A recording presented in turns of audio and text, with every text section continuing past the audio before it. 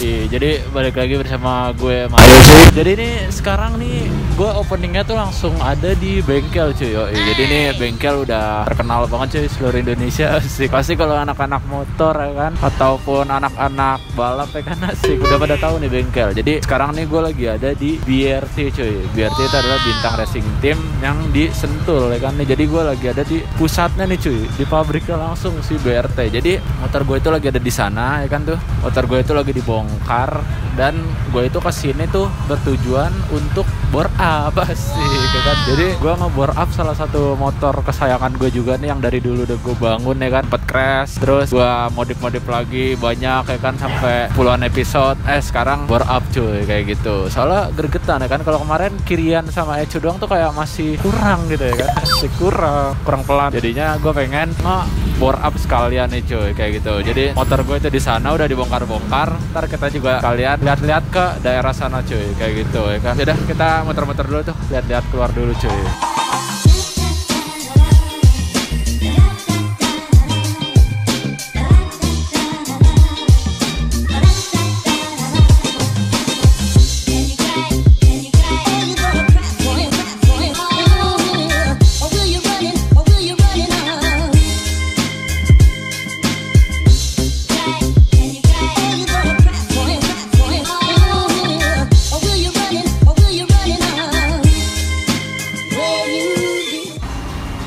cuy, jadi sekarang nih motor si Patrick nih cuy udah dilepas mesinnya cuy. Bisa kita lihat ya kan nih. Aduh, ya kan mesinnya tuh nggak ada, cuma bodi depannya doang cuy. Jadi motor gue ini diturunin mesinnya cuy. Mesinnya itu ada di sebelah situ, ntar kita ke situ juga. Nih jadi semuanya nih kosong nggak ada apa-apa ya kan. Yoi. Terus belakangnya gue ini juga ini cuy, tol cuy. Yo, ini adalah tol tol tol mana nih? Tol mana? Jagorawi. tol Cidere, eh Brigip Brigip.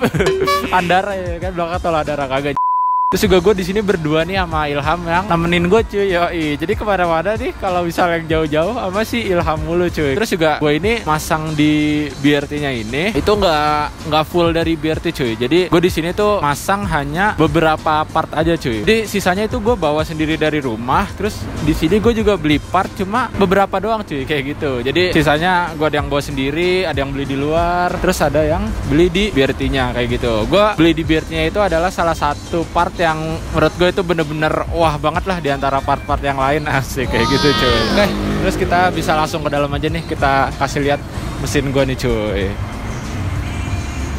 nah ini dia cuy mesinnya si Patrick cuy udah diturunin semua ya kan Nah terus ini part-part gue nih ya kan. Nih ada partnya di dalam. Terus habis itu di sini juga nih ada velocity-nya cuy. Terus ada cam juga cuy. Pokoknya di dalam masih banyak lagi deh. Ntar kita buka-buka sekalian cuy. Ah, Dan ini dia nih cuy ada Samko sih. Kita lihat lebih dekat lagi cuy.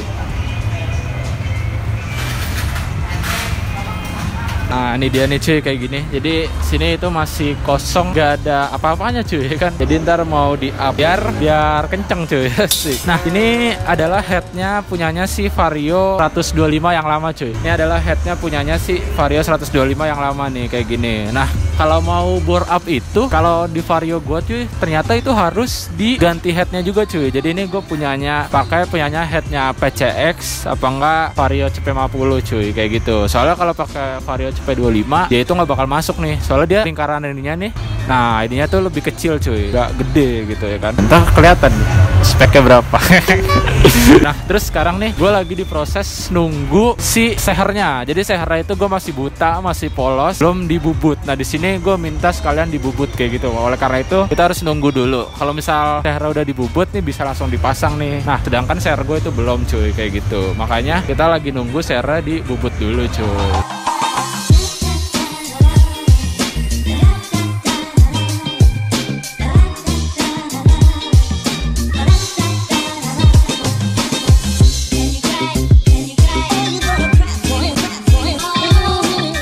Oke cuy, jadi karena di BRT-nya masih lama ya Om ya?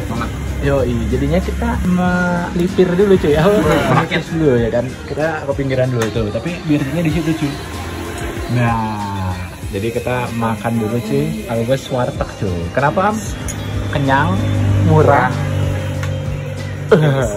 Terus yang paling gue suka ini am ntar kan minumnya es teh am. Kalau tehnya udah habis di refill pakai Jelas. ini. Jadi air putihnya ada manis-manisnya. Jelas. Yaudah cuy, kita makan dulu. Yo cuy, jadi gue tadi udah selesai makan sama Ilham cuy ya kan asik. Perut udah lumayan terisi lah ya. Tadi Ilham nambah dua piring asik. Ya kan Am, ngaku lo. nah jadi ini motor gue udah selesai dipasang nih headnya pakai head Pego ya kan P50 atau enggak head PCX. Terus bloknya juga udah selesai. Bloknya kita main berapa am? Bloknya 72 ya am? 76 ya. Kita main di 76 cuy. 86 ya. Wow. Jadi kita cuma main 52 ya Am ya. Blok kita 52. 52. bohong spek nih, bohong spek nih. Bohong spek. Terus nih oli, gue tadi di luar juga baru nyari nih. Gue menggunakan oli Ipon ya. Oli lu apaan? Ipon. Jadi olinya gue pakai Ipon nih di luar. Nih lumayan mahal juga cuy. Ya kan oli kayak gini. Pokoknya wah lumayan cuy. Gue kira tuh kan gue biasa kalau ngeganti oli di Honda ya kan di Ahas gitu kan ya better lah ya. Kalau ini buset mahal banget cuy. Gue juga kaget tadi. Cuma nggak apa-apa lah ya. Soalnya kan udah down spec. Eh down spec. Eh. Down spec. Makanya olinya juga harus bagus dong. Terus yang gue suka dari Ipon juga karena dapat stiker cuy. Kan ya? Dapat stikernya itu loh. Terus stikernya gue tempel di Vetrik lagi cuy. Eh jadi udah dipasang nih. Jadi kayaknya tinggal dikit lagi cuy. Sekarang itu sekitar jam 1 semua pegawainya nih di sini kosong karena lagi pada istirahat gitu cuy. Di semoga aja dikit lagi nih. Kan jam 2 kayaknya udah bisa. Wai, wai, wai. Udah sih coba kita keluar dulu nyari angin dulu ya kan? Nah berarti ntar kita ini am ya. Ntar balik dari sini langsung ini aja am. Kamis ceria. Asik. Kita langsung ke belakang sini deh. Kamis apa am? Kamis apa? Kami senang, kami senang. kami senang. Kan kalau Rabu Rabu ceria ya, ya kan? Senin Senin apa ntar balik timing dulu kali ya ke Sera ya. Ini dia nih. Ipon nasi apa dah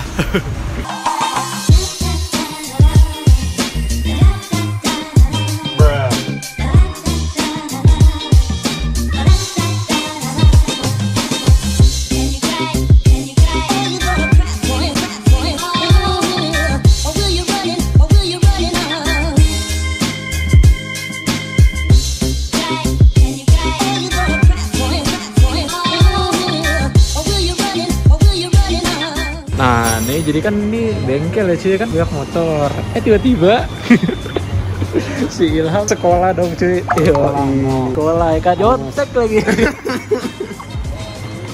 Tapi nggak apa-apa. Lu sekolah di di mana? BRT cuy. Daring. Yo, sekolah daring sentul gitu. Di tol. di di BRT gitu ya kan. Mantep am. Di sebelah tol, di BRT dan di sebelah kirinya sentul sirkuit. Asik. Asik bocah aja belajar cuy di tempat Belajar bengkel.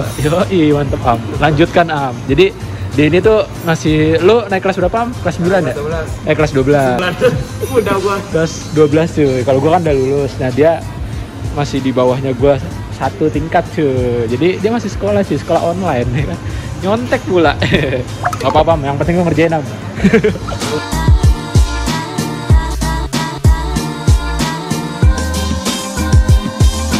Oke cuy, jadi sekarang si Patrick nih udah dinaikin lagi nih bodinya cuy ya kan.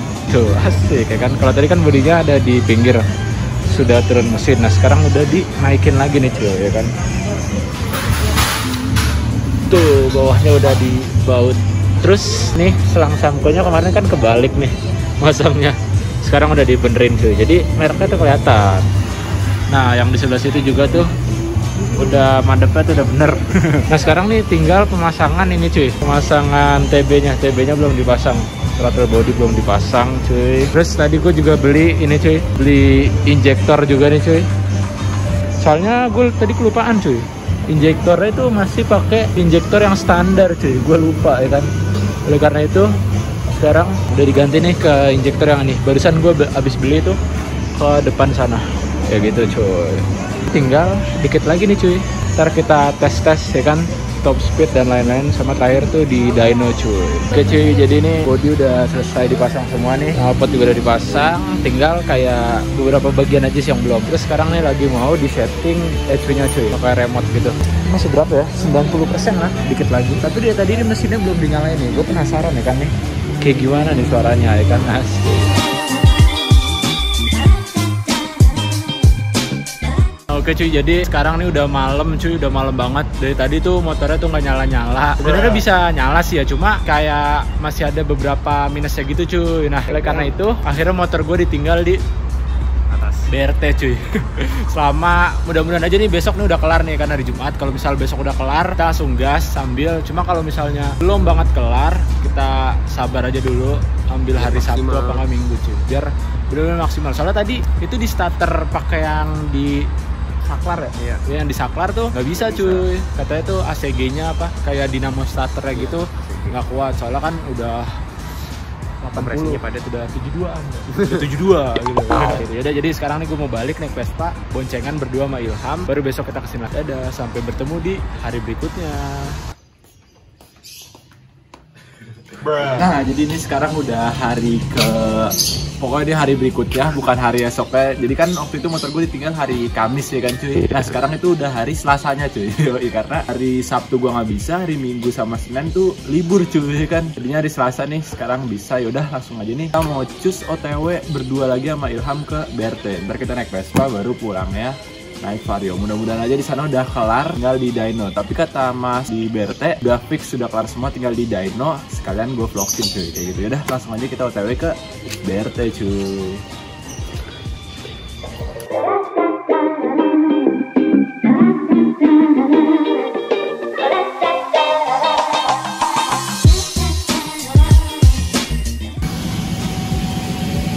Jadi sekarang nih gue udah sampai di B to the R to the T, asik. BRT, asik. Nah, bintang racing team dan motor gue ada di sini nih cuy. Be. Nah, sini Om, ada truk Om, ada truk. Nah, jadi ini dia nih motor si Patrick cuy. Ya kan di sini tuh banyak banget motor-motor lagi ada di dyno cuy. Kita lihat lebih dekat. Nah jadi ini dia nih si Patrick.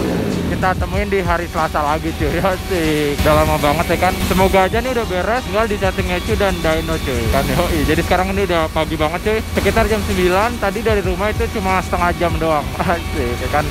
Kita kita tes nyalain cuy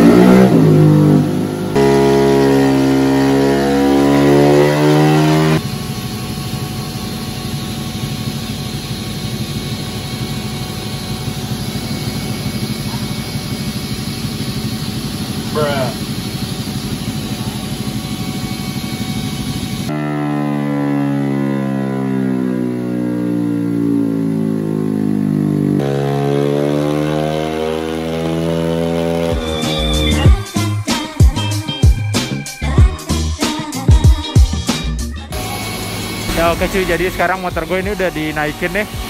Kita lihat lebih dekat ya kan. Nah, jadi udah dinaikin nih ke sini nih ke tempat dynonya.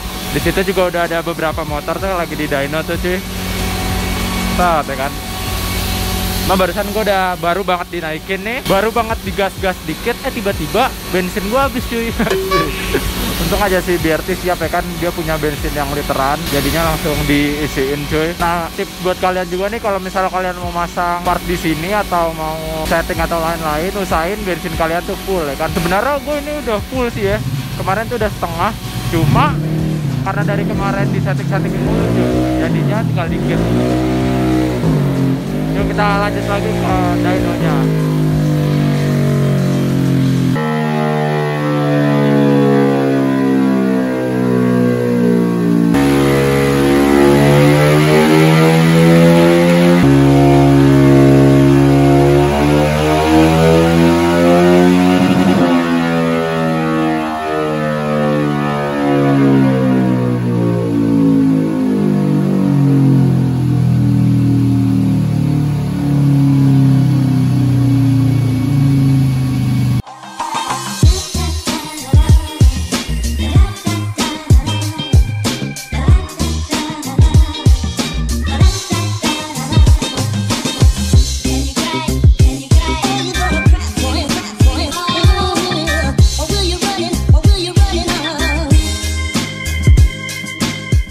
Alright cuy, jadi motor gue itu udah kelar nih, udah selesai cuy. Kita dengerin cuy suaranya.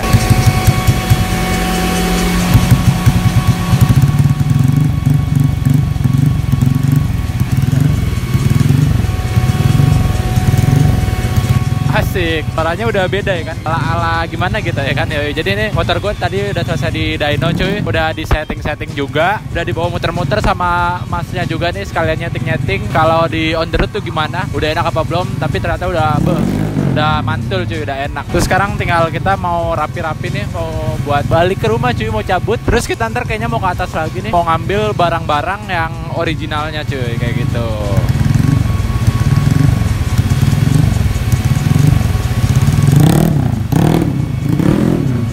Wow, ngangkat-ngangkat gitu loh. Ini coba kita lihat.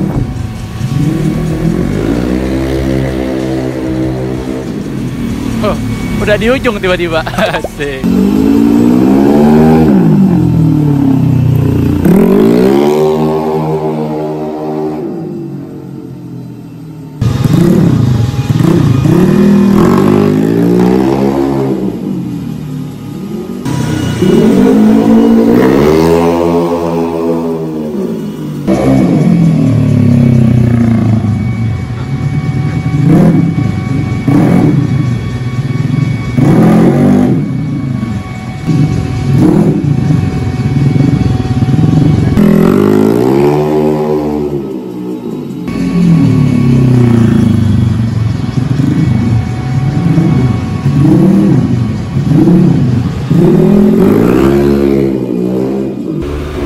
Oke cuy, jadi sekarang gue udah kelar nih. Motornya udah beres semuanya. Tarikannya semuanya udah diatur, udah disetting, udah jos parah deh pokoknya. Tadi gue udah cobain, udah baru digas dikit tuh udah Eh, begitu cuy. Ini part orinya udah di dalam juga udah ada. Udah beres semua nih sekarang udah jam 12 siang cuy. Lagi trik-triknya banget cuy. Terus Ilham pulang naik Vespa dan gue pulang naik si Vario cuy. Tadi jalan kita mungkin tukeran ya kan si Ilham pengen nyoba juga. Asik udah. Ntar kita lanjut lagi. Kayaknya kita pengen makan dulu ya kan. Kita balik dulu cuy. Dadah biar ti